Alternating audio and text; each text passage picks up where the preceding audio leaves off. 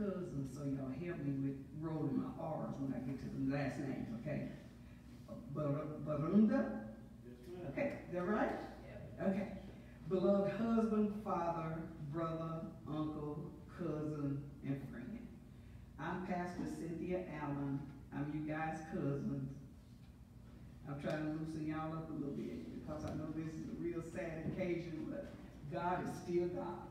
And God is still giving us strength when we need it. Amen? Uh, we're going to go, the program is going to go as written. I'm going to do the scripture and the prayer. They're going to play a song. Then we'll look at the video. Then we'll have words from the family from Tanya Morales. Did I do that right? Okay. Dahlia Borunda, Isaac Borunda, and Stephanie Diaz. Then we'll have another song. And then if there's time, because I know that they only have an hour, when you guys get up and, and, and have your words of comfort, don't rush. Take your time, and whatever time is left, then I'll take my time. If there's no time left, then it went as God planned. Amen? And then we'll have another prayer, and then we'll have a recession. I mean, the words, the word of God, comfort, and then a recession. Amen? Everybody that love the Lord, give him a hand clap of praise. Because if it had not been for the Lord on our side, some of us wouldn't be here today. And I'm one. Amen? So we just want to keep praying for Stephanie and the whole family and just keep each other lifted up in prayer. If there's somebody in here you don't know, pray for them anyway because God knows their name. Amen? Now I'll do a scripture. It'll be coming from Isaiah chapter 33, verses 15 through 17, verse 21, 22, and 24. Hast thou not known, hast thou not heard, that the everlasting God, the Lord, the creator of the ends of the earth, fainteth not, neither, neither is he weary. There is no searching of his understanding. He giveth power to the faint, and to them that have no might, he increaseth strength. But they that wait upon the Lord shall renew their strength. They shall mount up with wings as eagles. They shall run and not be weary. They shall walk and not faint. Amen. Every head bowed, all eyes closed. Father God, in the name of Jesus, we come humbly before you, Lord, as humble as we know how. First of all, asking that you please lift up the sorrowful. We ask, Lord Jesus, that you comfort. There's a lot of broken hearts in here, Lord. There's a lot of sadness, but we ask right now that you just put your loving arms of protection around them and let them know that everything will soon be all right. Death is part of living. And so sometimes we are caught off guard, Lord Jesus. Sometimes death is, when, when we're sitting with sick ones, we know eventually that they'll pass away, but this was devastating, Lord. And we just ask right now that you just love on them, comfort them, give them peace, give them back their joy, give them back their happiness in due time. We thank you, Lord, for this day. In the name of Jesus we pray. Amen. Now we'll do a song and a video, and then it'll be time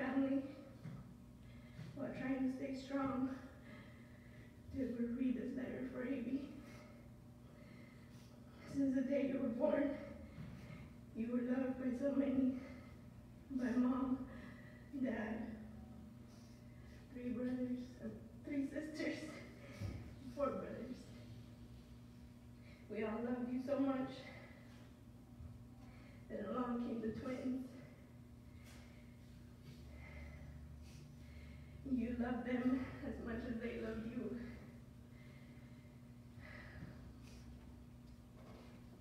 Most of our youth, we spent it in this little town, of Fabens, Texas.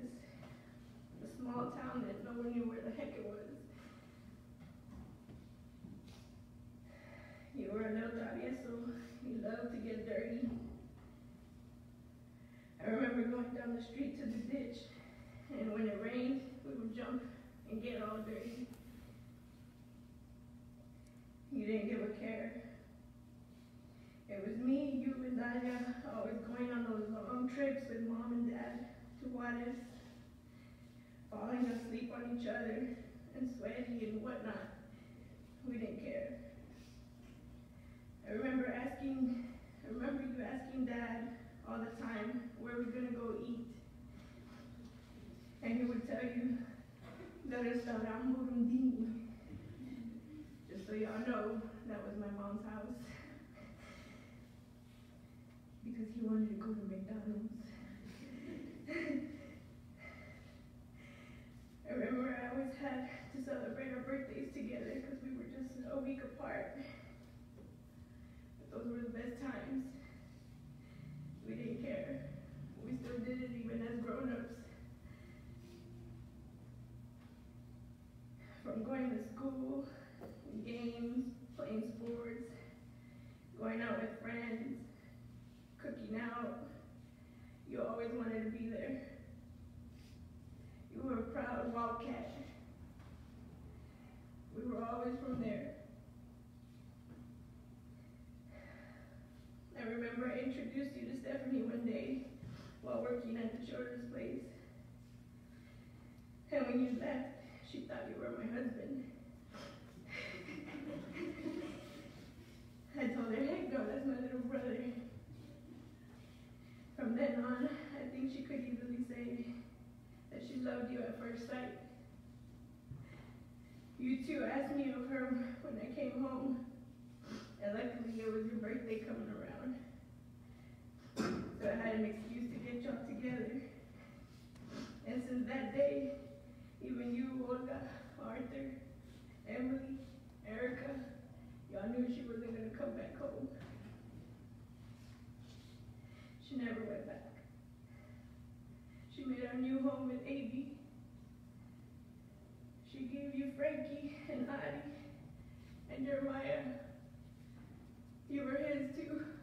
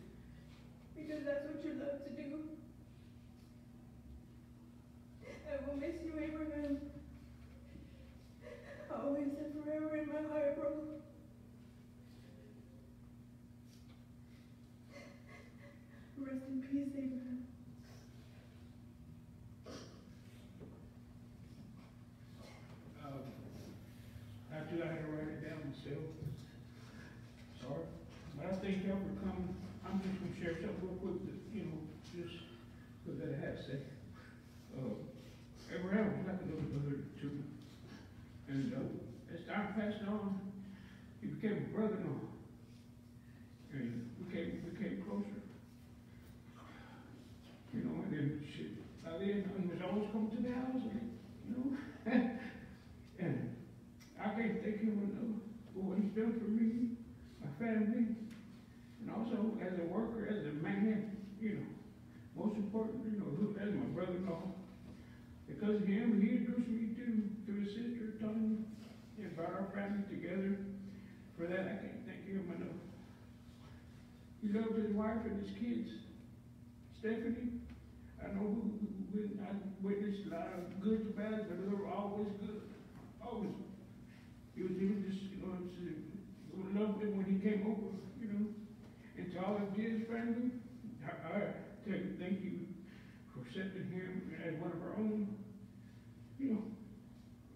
It was, you know, it was beautiful to see our family come together, holidays, birthdays, uh, cowboy games you know, just a good memory I have, you know, I remember on Sundays, he would come over, the family, watch, you know, we'd getting ready for the Cowboy game, and Abraham would walk in with his, uh, his Bears jersey, all she going, you know, you know, and I said, uh, and, uh, then I would roll my eyes, you know, and, and he, I tell him, I said, you know, I've been in bad luck, no, you know, because he hated when the Cowboys, uh, would win, and make fun of me when they would lose.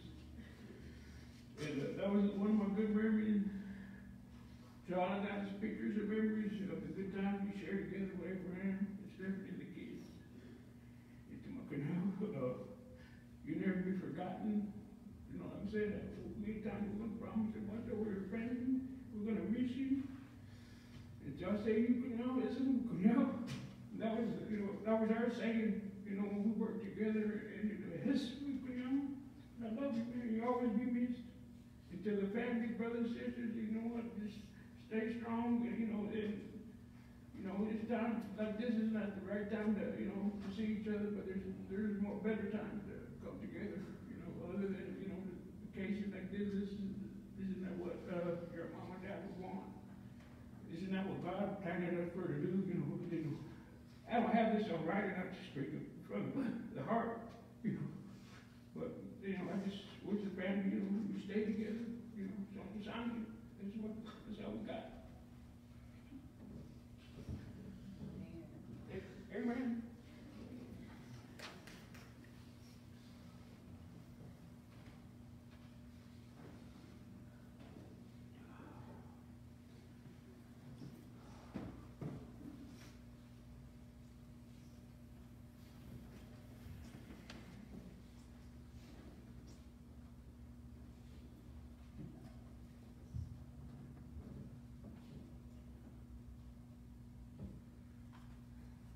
Just wanna let you guys know that I'm shaking in my body right now. That I wanna read something that I found on the internet last night. And it says, In our hearts, we thought of you today. But that is nothing new. We thought about you yesterday. And days before that too. We think of you in silence. We often speak your name. Now all we have are memories and your picture in a frame. Your memory is our keepsake with which we'll never part. God has you in his keeping and we have you in our hearts. I want to thank everyone here today for love and support to our family. Hello, my name is Maya, and I'm one of many of Abraham's siblings. And when I say many, I mean a lot. My little brother sure was a handful growing up. I'm truly convinced that the word hangry was put together with him in mind. Because the minute he said he was hungry, it was, and it wasn't available, or food wasn't available, it was game over. And Tanya, you know exactly what I'm talking about. But I do wanna say that eating wasn't the only thing that he was good at. Overall, my little brother was a good, loving, and caring person. He was always willing to help someone out even if he didn't know them. That's something our parents taught us growing up. As we grew up, we went our separate ways, but that never stopped us from being there for one another. I remember when he called me to tell me about Steph. He just said, I met this girl Steph, and that's all I knew. I never really got to know Stephanie. And then I got another call, and he told me that he had gotten her pregnant. He sounded happy. He sounded happy and scared. I told him congratulations, and I expressed my joys of parenthood. His laugh was so contagious at that moment that when I close my eyes, I can still hear it. He had a very weird and distinctive laugh. At least to me, I thought it was weird and distinctive. He would roll his lips back and show his teeth, and he would cover and he would. I can't do it, but it was such a beautiful, funny, weird. That right now I can hear it.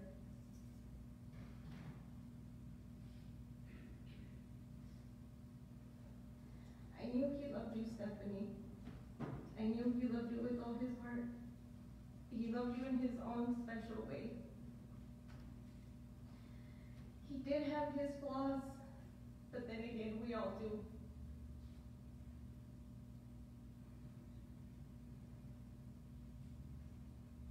Even though these last couple of years, we grew apart, I still knew what he was doing. I still knew how he was doing. And believe it or not, I still knew what he was doing. And I still loved him. And I still love him, just like I love all my brothers and sisters. As I talk about my memories with him, Abraham, each and every one of us has a lot of memories with you. I ask that we treasure those and keep them close together, and that we live our lives like he would, sometimes not caring. And not caring in a bad way, just not caring what others thought about what he was doing.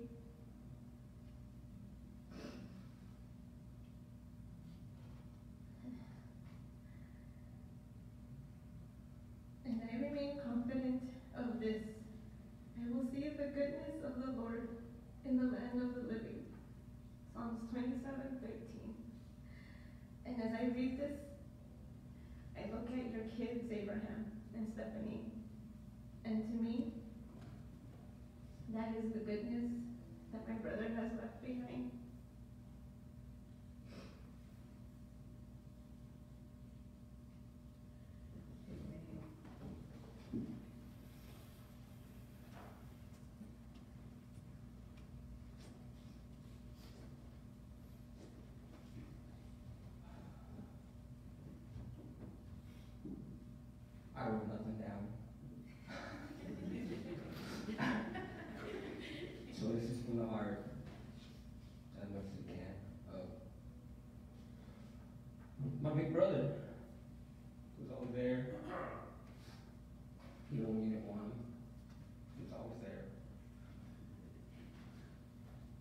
knock.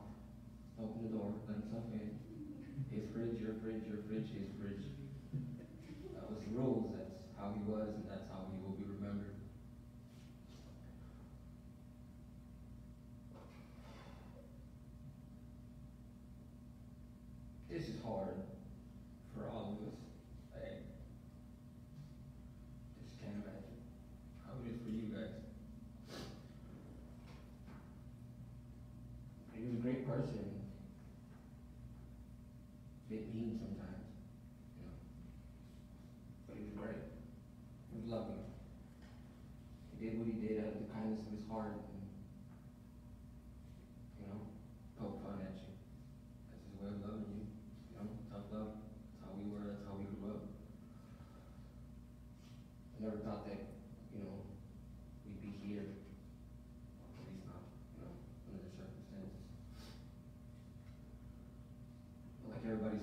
great memories of Abraham, and those are the ones that need to move on. Those are the ones that need to flourish. Need to live on that. And as a family, we need to come together more than we have, myself included. I know some of us just like to be distant. We like our space. But this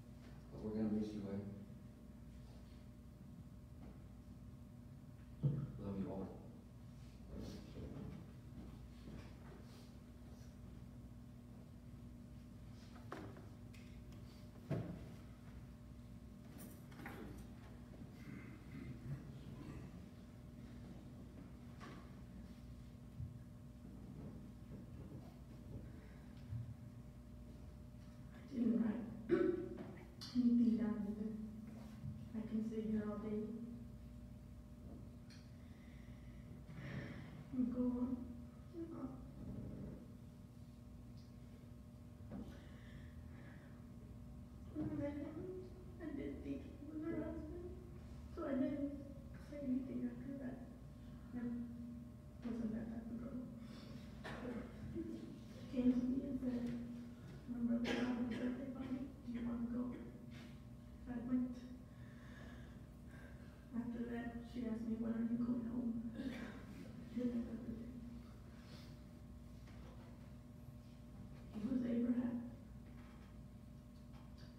He liked making me mad. And when he would make me mad, he would bring me lottery tickets and big rent. So that I could bring it about.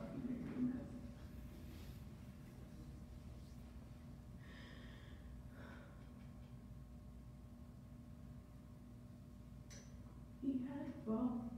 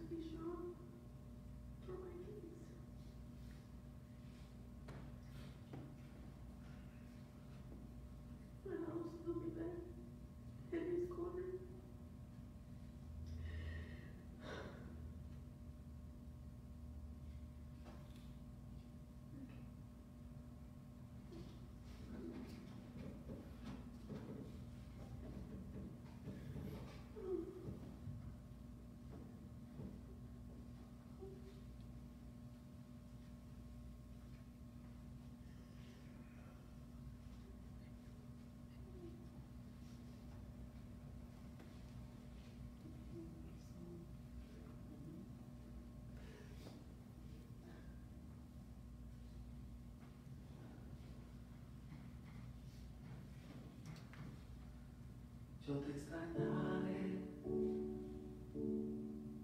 te lo porse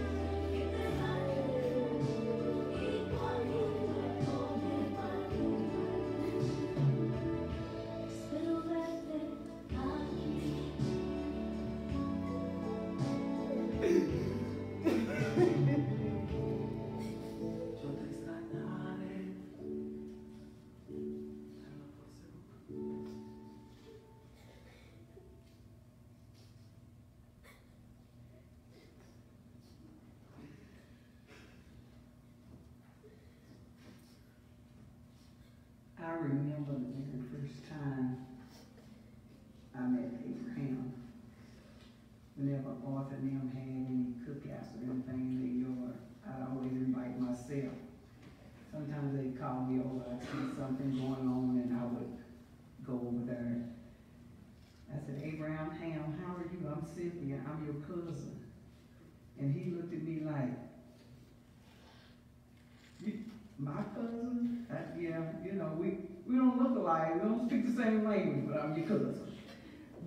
and then I was sitting here listening to you guys talk. I didn't know he liked to fish, so I was waiting for some fish stories, cause I like to fish. I fish, I clean them, I cook them, and I eat them. And, uh, so I, you know, everybody got a fish story. And, uh, so I was just waiting a little bit for the fish stories. I wish I had known he he liked to fish. I went and got him a couple of times, cause a lot of times my husband won't go with me because he, he, I get my line caught up. And, uh, yeah, he, I have, and I have to beg him to unplug my line. But anyway, uh, Abraham, I loved him just like I do all my cousins. But anyway, I got just a quick word for you and then I'm gonna take my seat. The scripture that I read earlier, uh, was saying that the Lord knows everything. He doesn't get faint and he doesn't get weary. He's an almighty God. He uh, takes care of us in the times of troubles. And sometimes we experience situations like this that we think are not fair. Uh, because me, sometimes I think, you know, some of the good people die young. And some of the ones that I think need to be going are still here. Okay? I'm sorry, that's just me. Uh, because uh, when we have someone in our life that is good and kind, and I heard you guys say he'll do anything for you, he'll give you the shirt off your off of your back, uh, off his back. Those things are God-given gifts. Everybody's not blessed to be like that. When you have a, a, a person like this that dies young, God wants us to know He's done His job on earth. Now, what it is, is it's time for us to do some of the things that He did. And it's not easy liking people that you know don't like you. It's not easy liking people that you know that stab you in the back or whatever the case may be, but he was an example. And I heard somebody say he gave something even if he didn't want to. That's what God is about. Whenever we are living, we, we have to know that eventually all of us are going to pass away. We don't know when and we don't know how, but we need to be ready. Uh, I was over at Stephanie's the other day, and y'all, I like to eat, so when we go out to the park, I'm gonna eat. Uh, I bought me some change of clothes. I bought my own glass for something to drink, but I got some chicken spaghetti and some cakes and stuff in the car. But anyway, when I went to Stephanie's, I was looking at her wall, and she has a lot of things on her wall about blessings and a lot of scriptures from God. And you have to know God. You have to have an experience to even know about blessings, to even know about praying. Every, if, if you don't go to church every Sunday, if you don't go to church at all, that does not mean you don't know God. God wants a relationship with you. When he, when we get ready to pass on whatever way we pass on, we want to see Abraham again. But if you don't know Christ, if you haven't given your life to Christ, then you won't see him again. And when I was reading these scriptures, it was saying that we don't understand what God does. And a lot of people will tell you, don't question God. That's not true. You have to ask God. He's your father. Those of us who have children, raise your hand. When your kids want something, they do what?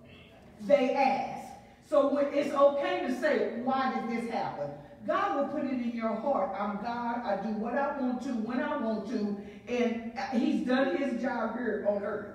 And we see also in this word that it says he, give, he gives power to the tired and the worn out. Sometimes in life, it will just everyday regular things, going to work, taking care of your family, you know, experiencing uh, uh, grudges and different things. God will, he knows when we're tired. He knows when we're worn out. But the Bible also says he gives us strength when we're weak. Stephanie is at her weakest right now. She's at her weakest more than she's ever been in her life because she's blessed to have both of her parents. She's blessed to have her kids. But Stephanie, I want you to understand that God knows best.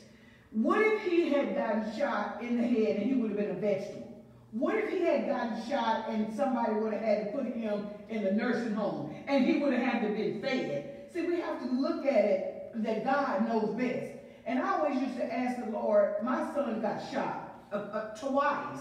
And I asked the Lord, Lord, whatever you do, help me be able to get through it. So Stephanie, I want you to know that right now you may feel the worst you've ever felt before, and the babies. But one thing about it is time heals all wounds. And what you need to remember is all of you guys are the memories that you shared with him. And, and how he made you laugh and, and how he told your brother, buy me some beer. He said, I don't drink, it don't make no difference. Buy me some. You know, just things that he did that, that made you laugh and, and, and keep you encouraged. And also pray. Ask the Lord, you know, help me. I can't make this. With, I can't make it without you. And it says that even the youth shall be exhausted and the young men will give up.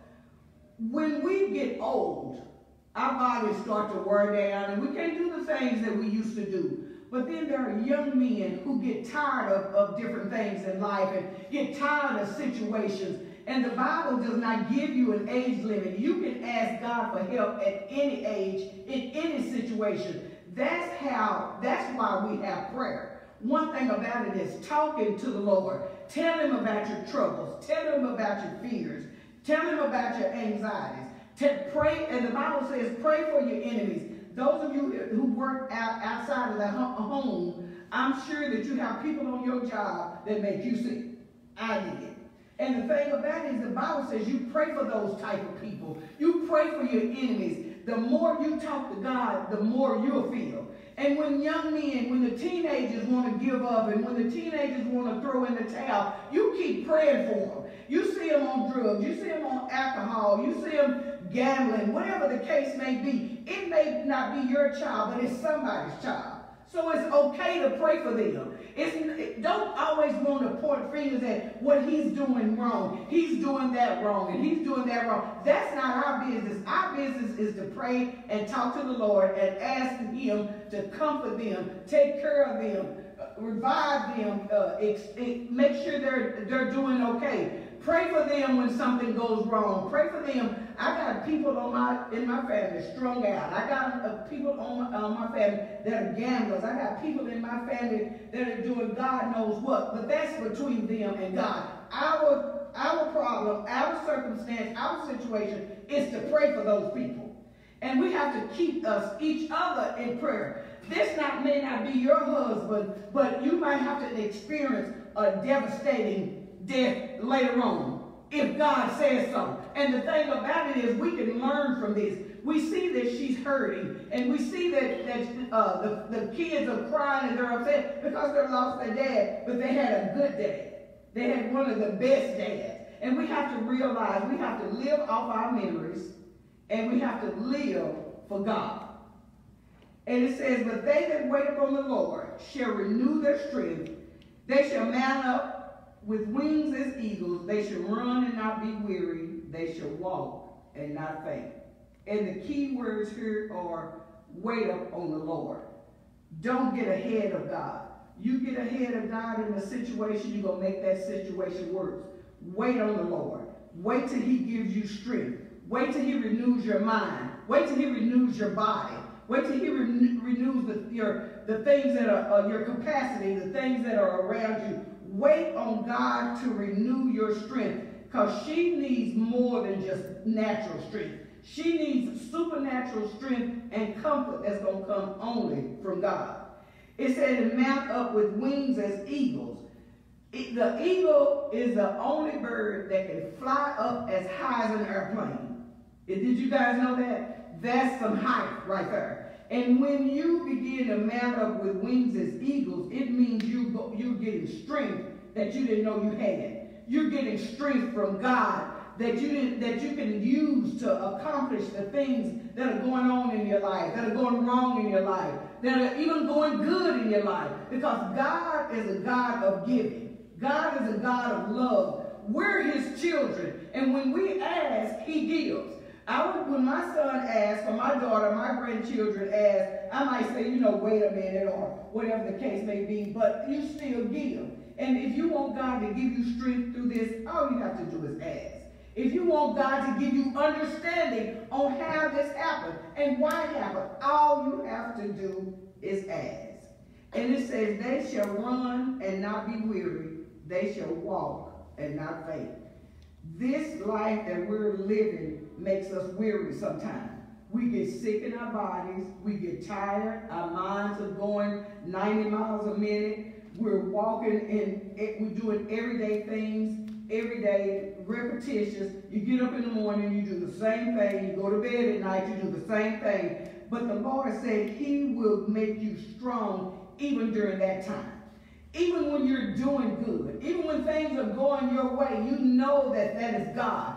All you have to do every now and then is just tell the Lord thank you. You don't have to get down on your knees all the time. You can be driving in your car, listening to your music, and telling the Lord thank you. Because, Lord, you kept me from a car accident.